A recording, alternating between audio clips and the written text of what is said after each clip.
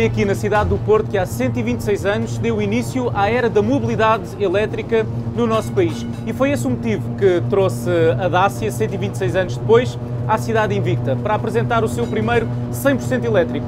Um modelo que, pelo seu preço e acessibilidade, promete alterar o cenário nas cidades portuguesas. E neste vídeo vamos conhecer todos os detalhes do novo Dacia Spring. Portanto, fica desse lado, subscreve o canal e ativa o sino das notificações e, claro, seja bem-vindo a mais um vídeo da Razão Automóvel no YouTube. Antes de falarmos do novo Spring e do seu futuro no mercado, a Dacia convidou-nos a fazer uma visita ao passado, onde percorremos as belíssimas ruas da cidade do Porto, animados pelos 88 cavalos de potência do elétrico 191, em direção ao Museu do Carro Elétrico. O objetivo desta viagem conhecer um passado distante, onde muito antes do automóvel com motor de combustão, eram os elétricos que colocavam a cidade invicta em movimento. Um passado onde a produção de energia e o seu armazenamento eram um verdadeiro problema.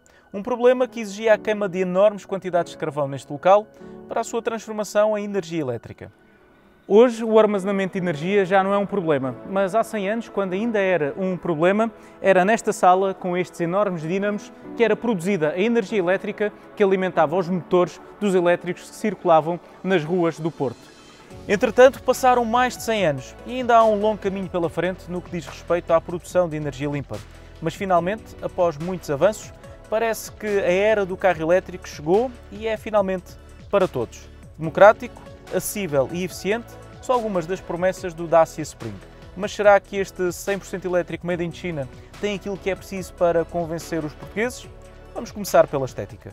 Em termos estéticos, a proposta da Dacia é bastante interessante. Por 16.800 euros levamos para casa um citadino com ares de SUV. Se não, vejamos, temos uma carroçaria com 150 mm de distância ao sol para enfrentarmos com naturalidade mesmo os passeios mais elevados em cidade e também na lateral temos algumas proteções para naqueles estacionamentos nos supermercados não termos receio da nossa carroçaria ficar danificada. De resto, temos aqui à frente uma grelha tipicamente Dacia, mas como este é um veículo veículo 100% elétrico, não tem como pressuposto refrigerar o motor de combustão, mas temos isso sim aqui debaixo escondida a tomada de carregamento. Relativamente à assinatura luminosa, temos aqui uma luz LED, típica também dos modelos da Dacia, e no segundo piso temos os máximos e também os médios. Passando para a traseira, esta é uma versão business, vai ser a versão para as empresas, portanto está um bocadinho despida e um bocado cinzentona, mas nas versões Comfort e Comfort Plus vamos ter mais cores, vamos ter também os espelhos retrovisores com uma cor mais distinta e vai haver várias combinações para tornar este Dacia Spring um bocadinho mais primaveril e menos outonal como este que está aqui ao meu lado. Mas agora quero saber a tua opinião. O que é que achas do design desta proposta da marca romena? É do teu agrado, não é do teu agrado, tendo em consideração naturalmente também o preço? É isso que eu quero saber na caixa de comentários deste vídeo.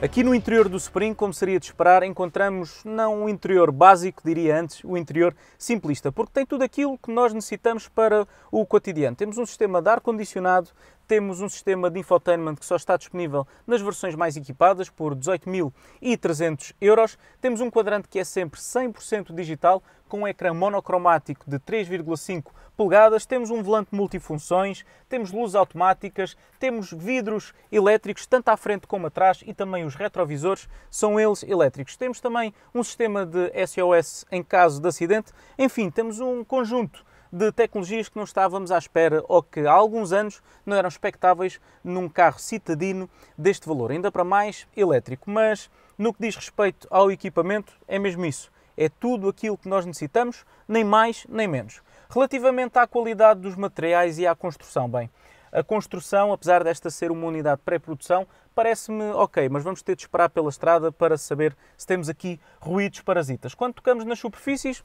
Naturalmente elas são todas duras ao toque e quando tentamos bater nas portas, enfim, é um modelo que não diria low cost, mas de custos controlados. Não há milagres como seria de esperar. Falando da habitabilidade, bem, aqui à frente tenho uma posição de condução bastante alta, mais parece um SUV, o volante também está numa posição correta, portanto, tudo ok para uma viagem um bocadinho para fora da cidade ou quem sabe até para um dia inteiro na cidade. Outro dos equipamentos que está reservado às versões mais equipadas diz respeito à câmara de estacionamento traseira, que também contempla sensores. Aqui nos lugares traseiros, ao contrário daquilo que era a minha expectativa, o Dacia Spring saiu-se bastante bem. Tenho muito espaço para as pernas e também bastante espaço para a cabeça, naturalmente tendo em consideração que este é um modelo citadino.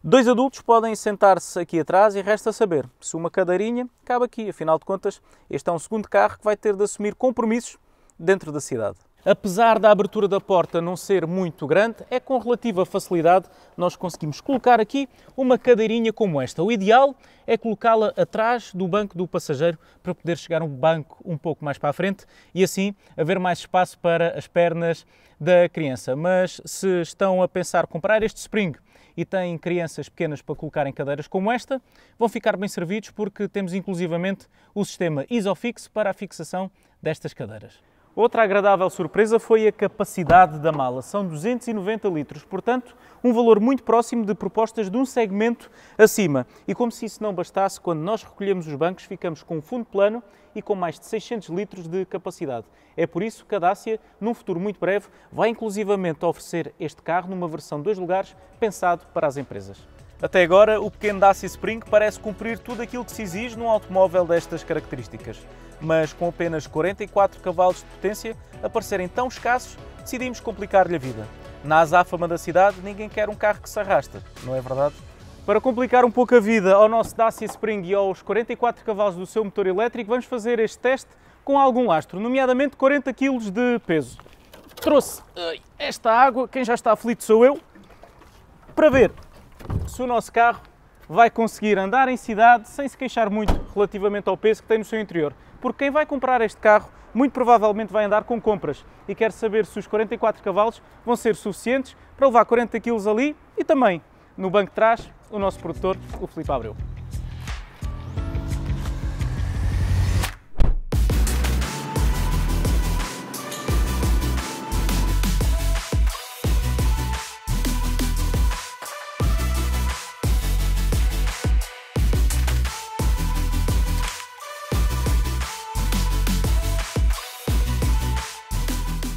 Então vamos lá ver o que é que vale este Dacia Spring aqui em cidade, que vai ser o terreno por excelência desta proposta da marca romena. Ainda que com baterias de 27,4 kWh de capacidade útil, seja possível fugir da cidade, porque temos mais de 205 km de autonomia em ciclo WLTP quando saímos da cidade e em WLTP cidade temos mais de 300 km para percorrer.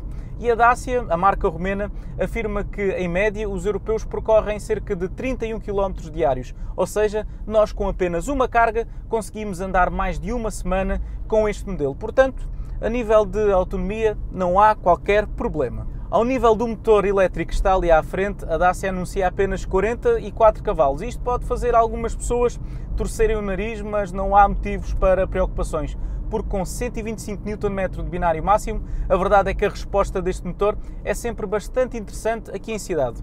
Em estrada já vamos ver daqui a pouco, mas aqui em cidade, sempre que premimos o pedal do acelerador, temos uma resposta que posso até considerar relativamente vigorosa.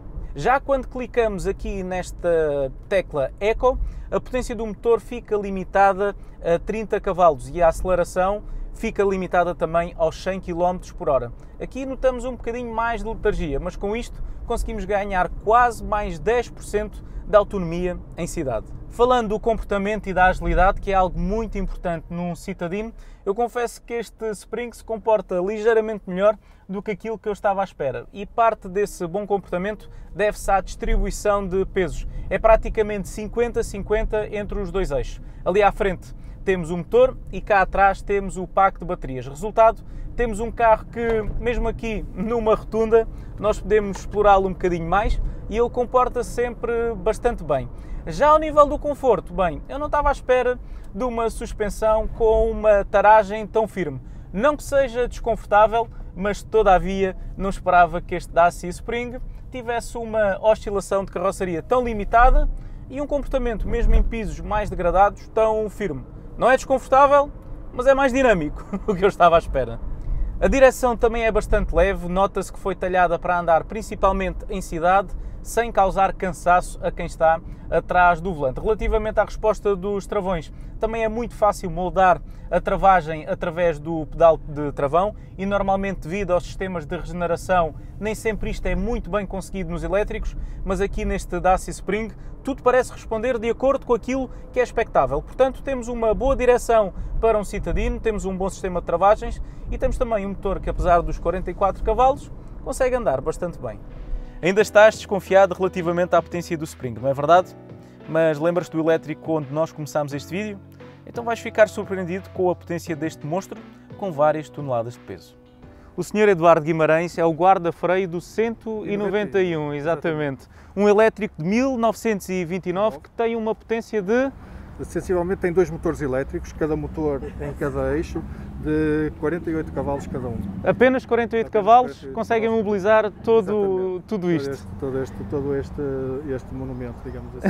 e como é que é conduzir? É conduzir que se diz? Exatamente, sim. A condução é, é, é uma coisa relativamente simples até. Portanto, é só controlar o acelerador, digamos assim, que é um graduador onde dá mais energia ou menos energia, portanto, quanto mais energia recebe, mais velocidade tem, quanto menos energia tem, menos velocidade e mais força tem. E depois, regular o travão. O travão antigamente, que era manual, é esta roda que está ali, e hoje em dia é, eh, aliás, estão a ouvir agora o valor do compressor, é ar comprimido que atua sobre os travões.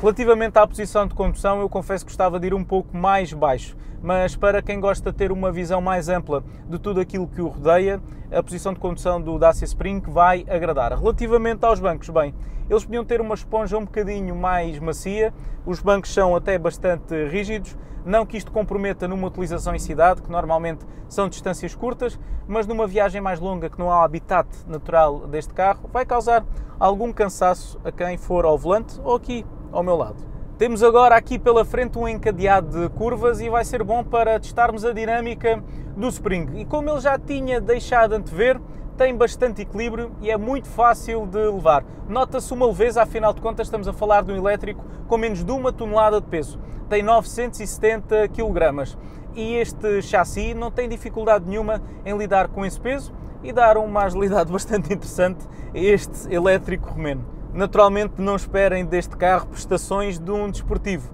mas para um carro que vai fazer da cidade o seu principal habitat, olhem que não se safa nada mal aqui em curvas. Relativamente à insonorização, ela também está medianamente bem conseguida.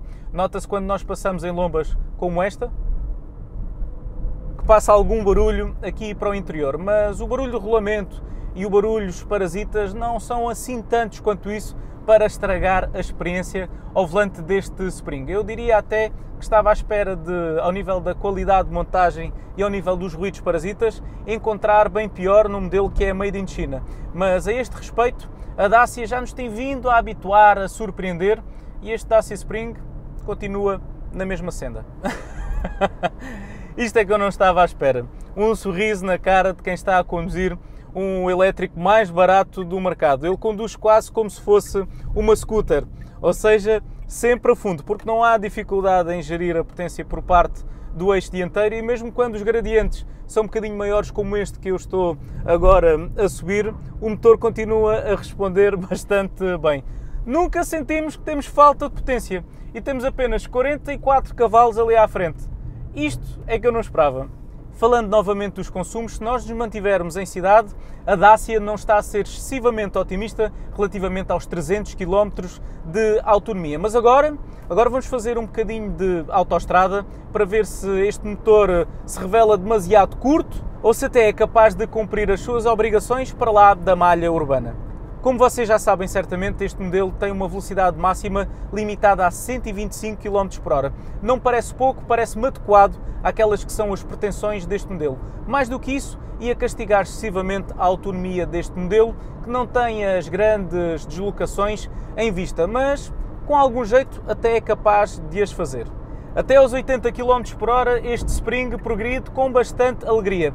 Daí para a frente nota-se já alguma dificuldade, mas nada coloca em causa a nossa segurança ou até a possibilidade de fazermos uma ultrapassagem. Como eu já disse anteriormente, se clicarmos aqui no botão Eco, a velocidade máxima fica limitada a 100 km por hora. Se não estiver ligado, podemos ir até aos 125 km por hora, que é mais do que suficiente para as pretensões deste modelo. E a verdade é que eu vou agora a circular a 100 km por hora e ele parece que não vai fazer esforço rigorosamente nenhum. Como seria de esperar, a velocidades mais elevadas, o ruído de rolamento invade o habitáculo, mas nada que seja excessivamente incomodativo ou coloque em causa a experiência de quem vai cá dentro. Afinal de contas, este é um carro que custa pouco mais de 16 mil euros, é 100% elétrico, oferece mais de 300 km de autonomia e para o carro que é, acho que cumpre perfeitamente aquele que é o seu propósito. Vou a 70 km por hora, mais uma ultrapassagem, carrego a fundo e aí vai o nosso pequeno Spring, não vai rápido como uma bala, mas vai suficientemente desenvolto para não ter dificuldades dentro e fora da malha urbana. Que horror, um carro com apenas 44 cavalos de potência!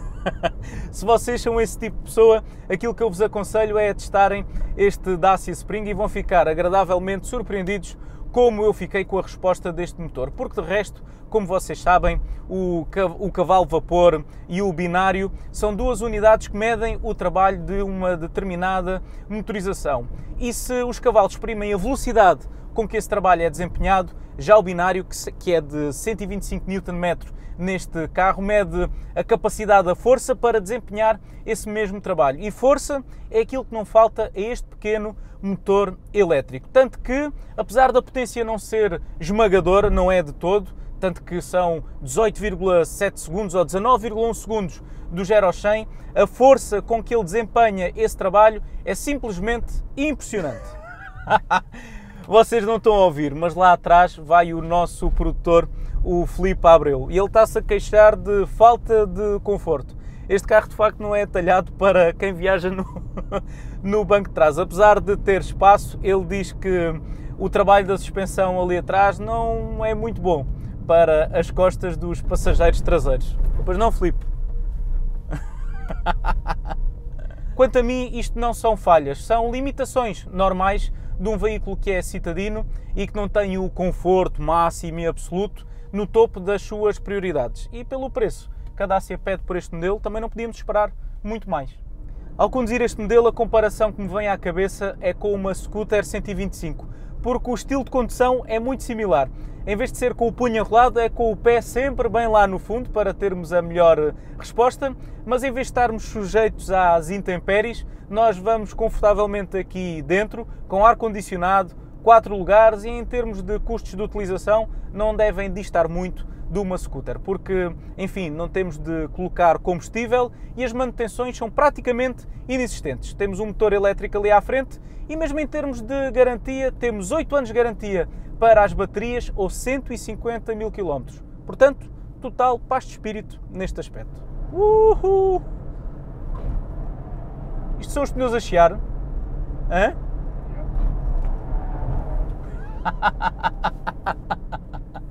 já chega, já chega. Muito bem, estamos a chegar ao destino final. Eu confesso que até vou ter saudades deste Dacia Spring. Já o Felipe, tens a mesma opinião que eu ou não? É um misto. É um misto de sensações, porque lá está. Este é um carro que não podemos esperar que tenha um conforto referencial para quem vai no banco de trás ou mesmo aqui à frente é um citadino e não podemos esperar o mesmo que esperamos, por exemplo, de uma berlina familiar. É tudo uma questão de perspectiva e de nós adequarmos aquelas que são as nossas expectativas com o propósito deste carro. E desde que nós façamos isto, este carro vai cumprir todos os seus deveres na plenitude. Vejam só,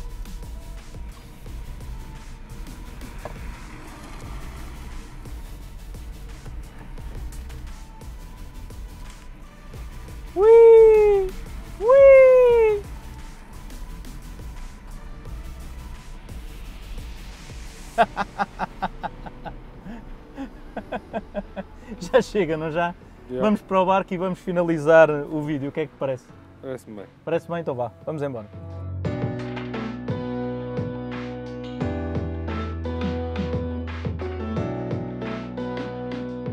E com a magnífica cidade invicta a servir de pano de fundo, chegamos ao final de mais um vídeo do canal do YouTube da Razão Automóvel. Relativamente ao Dacia Spring, foi uma ótima surpresa, é acima de tudo um modelo muito honesto que oferece exatamente aquilo que se espera dele. Baixos custos de utilização, muita facilidade de condução em cidade e fora da malha urbana e relativamente ao conforto, bem, também oferece aquilo que se espera de um veículo que é eminentemente citadino. Quanto a mim, é tudo por hoje. Eu espero que tenhas gostado de estar connosco. Um grande abraço e até à próxima.